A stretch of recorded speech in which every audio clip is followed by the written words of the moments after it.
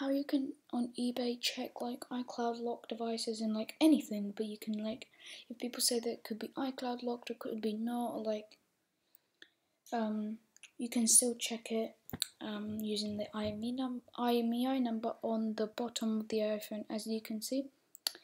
Now if the um, IMEI, IMEI number is not clear, you can ask, uh, you can like uh, ask them to like say what IMEI number is, is on the iPhone is 6 below, on the iPhone 6 and below, you'll be able to look on the IMEI, IMEI number at the back iPhone 6s and up, you could ask them to be on the SIM tray.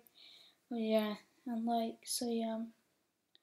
Anyways, guys, as you can see, we're taking a look on this iPhone 5s and we're checking the iCloud is if it is on or off.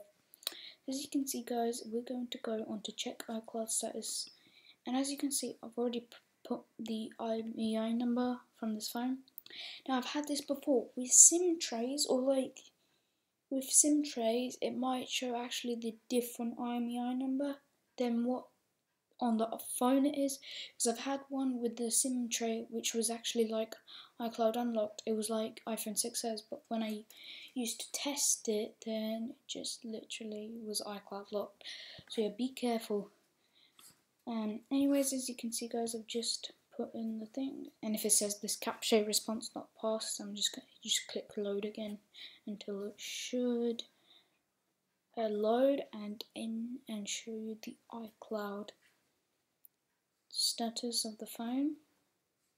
You can also check blacklist. You can also check the IMEI and this works for both um, I um iCloud like uh, IMEI and serial number. As you can see guys find my iPhone is on and yeah so that's how you do.